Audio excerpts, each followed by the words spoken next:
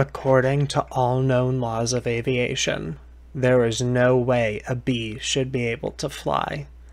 Its wings are too small to get its fat little body off the ground. The bee, of course, flies anyway, because bees do not care what humans think is impossible. These are the words that have started the greatest film humanity has ever and will ever produce. So, like your good queer, I was doing my weekly rewatch of the Bee movie when a thought struck me. Remember towards the end of this movie when there's the scene, the plane's going down, Vanessa and Barry are freaking out, and then suddenly every single bee in the Central Park of New York City comes to their aid, lifts the plane, and helps them land safely?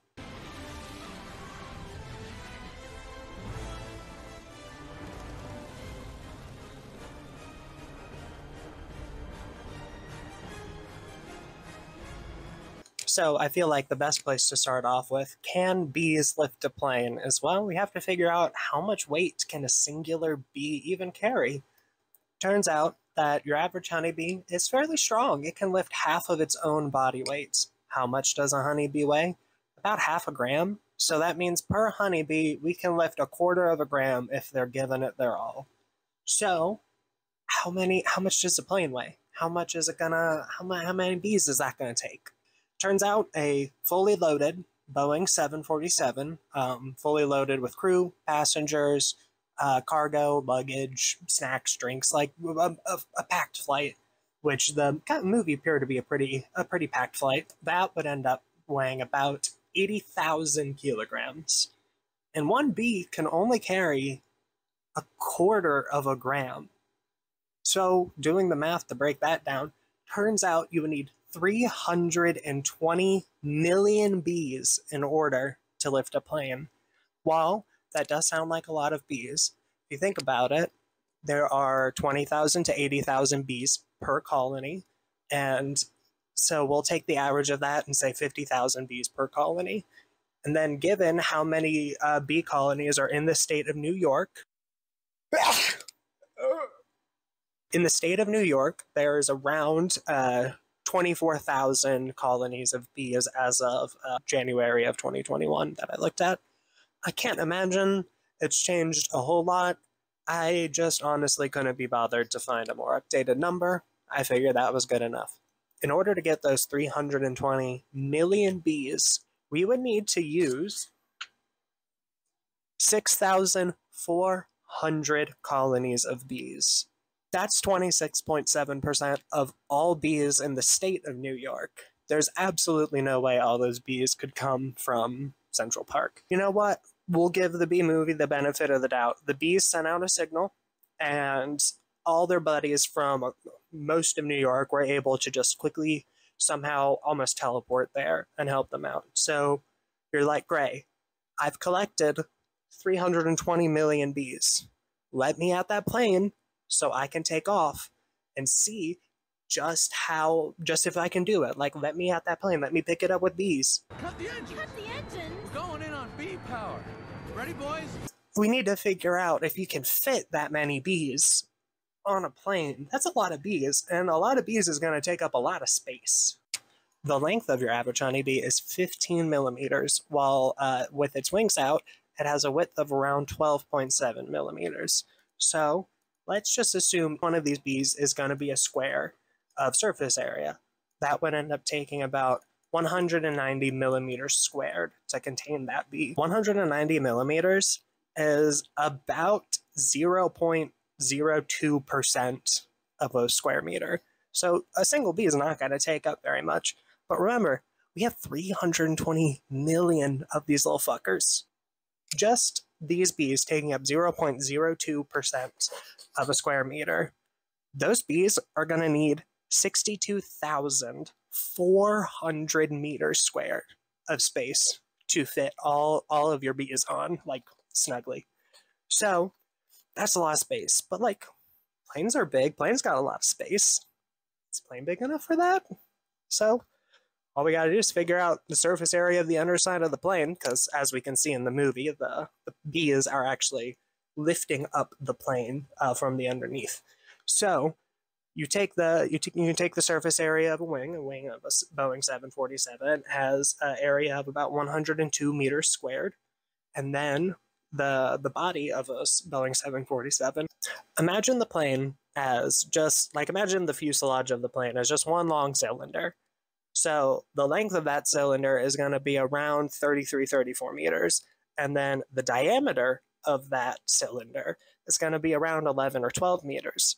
So we can use that to figure out how much uh, surface area would be on this cylinder, and then we can divide that in half to get just the bottom area.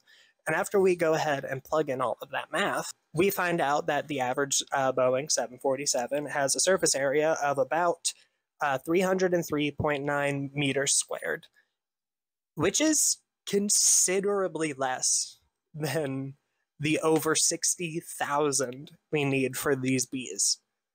So, if you wanted to lift a bee with a plane, you're either going to need a much bigger plane that weighs the same, a lot stronger bees, or break physics, I guess. I'm really, really sorry to say, but I think the Bee movie lied to us. And I know that's a shock.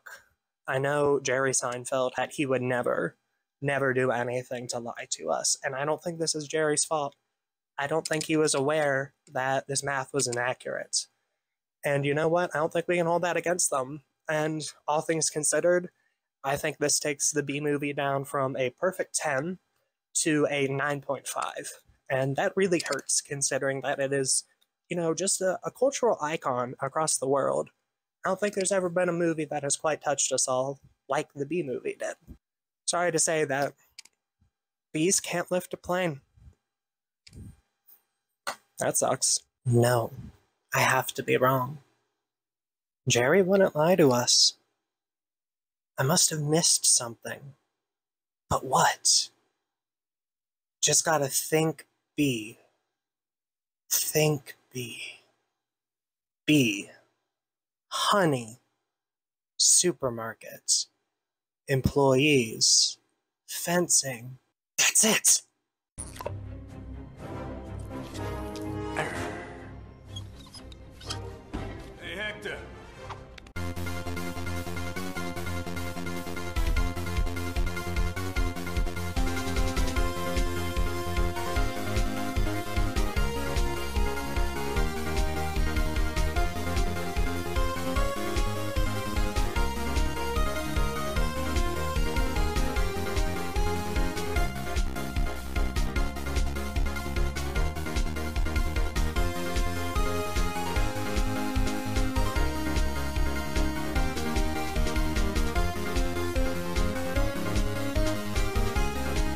If we go back to the scene in the Bee movie where Barry B. Benson is trying to infiltrate the back room of the supermarket in order to find out where the honey is coming from, yes, this is the greatest movie of all time, we see him get ready for a stealth mission.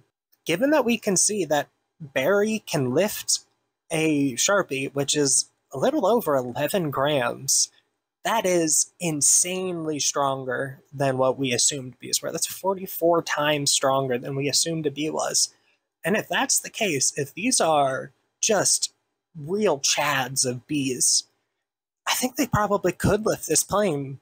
Looks like I have to I have to redo some math real quick. If you look at that, and we can see that Barry B. Benson chucks that Sharpie like it's no big deal. So he's probably stronger than being able to pull up 11 grams. So Assume 15 grams instead. And then we see that they need to transport a lot of flowers onto this flight. And so they must have had to throw out a lot of luggage too. Actually, I'm pretty sure they show you throwing out luggage in this in the movie. So let's knock the plane down from being maximum capacity at 80,000 kilograms and instead knock it down to mid capacity at around 65,000 kilograms. If we do that, we figure out that with these new improved strong bees and with this lightened plane, it goes down from taking us 320 million bees to instead just 4.33 repeating million bees.